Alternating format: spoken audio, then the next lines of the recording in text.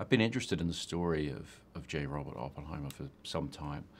Um, I really got hooked by that moment where the people working on the Manhattan Project realized that when they detonated the very first atomic device, there was a small but quantifiable possibility, just a slight chance, that in doing so they would set fire to the atmosphere and destroy the entire world.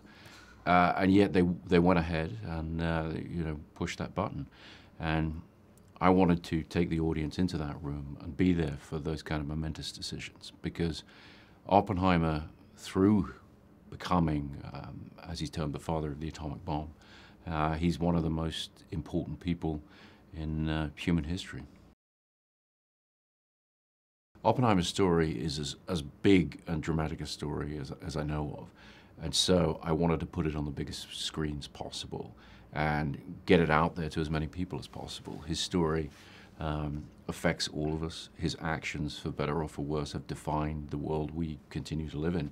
Uh, and so getting his story out there on the biggest screens possible to the widest audience, uh, that was really the ambition for the project. At the center of Oppenheimer is Cillian Murphy's performance as, as Robert Oppenheimer. I worked with Cillian for years, but I never had the chance to have him as the lead in one of my projects. So I was very excited to be able to call him up and say, you know, this is the one, this is where you get to to carry the audience through through a story, and, and it was very much a question of carrying the audience because I really wanted Oppenheimer's story to be told subjectively. I really wanted to bring the audience into his experience and and experience events as he did. Um, there's an extraordinary cast around him. Um, the film is a combination of uh, a great central performance, but also this incredible ensemble cast with Robert Downey Jr., Matt Damon, Emily Blunt, Florence Pugh, uh, and many, many more.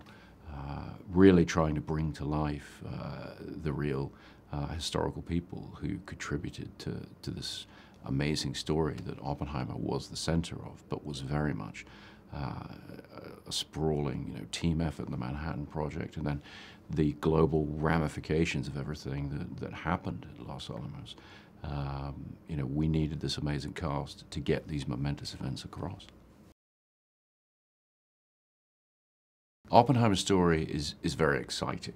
Uh, it's a little strange to use a word like entertainment, you know, when it comes to something as, as serious as nuclear weapons, which is what the film is dealing with. But I think cinema has always had the potential to draw people into an experience and give them this extraordinarily dramatic uh, tale, uh, following and, and seeing uh, through Oppenheimer's eyes all of the crazy paradoxical situations that he was involved with. Um, you know, we want the audience to have a very, very engaged, exciting experience watching the film, uh, and hopefully on, on the biggest screen possible.